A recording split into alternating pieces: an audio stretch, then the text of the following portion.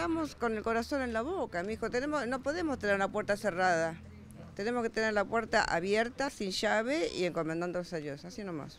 A eso de las 9 menos 20 de la noche entraron cinco, estaban en un auto.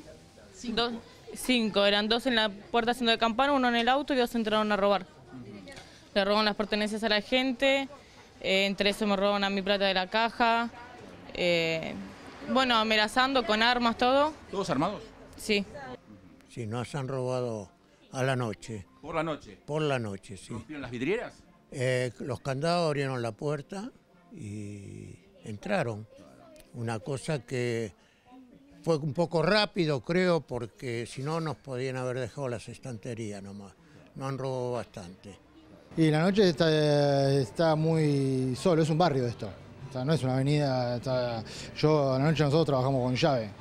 Abrimos, cerramos, abrimos, cerramos.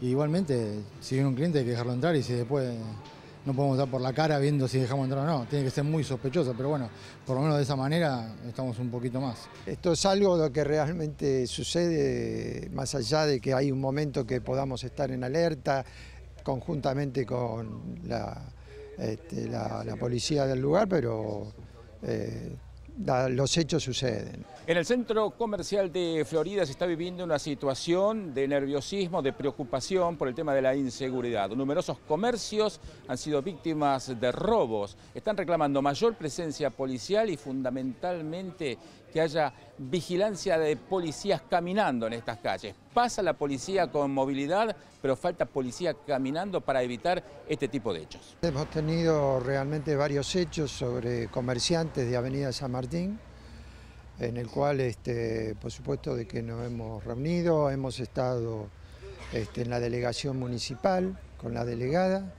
Susana Orué, y bueno, ella este, nos dio, digamos, a ver de qué manera podríamos trabajar, digamos, más allá de que nosotros trabajamos con el Centro Comercial Florida en el hecho también de inseguridad, pero eh, realmente fueron varios hechos que sucedieron, entonces hemos reclamado a la municipalidad, por supuesto también eh, hemos estado conjuntamente con el titular de la comisaría segunda. Ahora igualmente están haciendo un trabajo bueno, sinceramente eh, están, supuestamente van a sacar las motos, pusieron las camionetas esas negras nuevas. Ayer la municipalidad nos trajo un handy que lo, dio, lo dieron ellos para que nos comuniquemos directamente con un centro de emergencia. O sea, a partir de ahora se están moviendo. Necesitamos más, más refuerzo policial acá. ¿Hay policía? ¿Se nota la policía? Mire, se nota un poquito más, vamos notando un poquito más de lo que fue, pero se necesita más, permanente, no es de pasada, porque acá la policía pasa nomás, pero se necesita permanente, porque pasó y ahí es cuando atacan para un robo.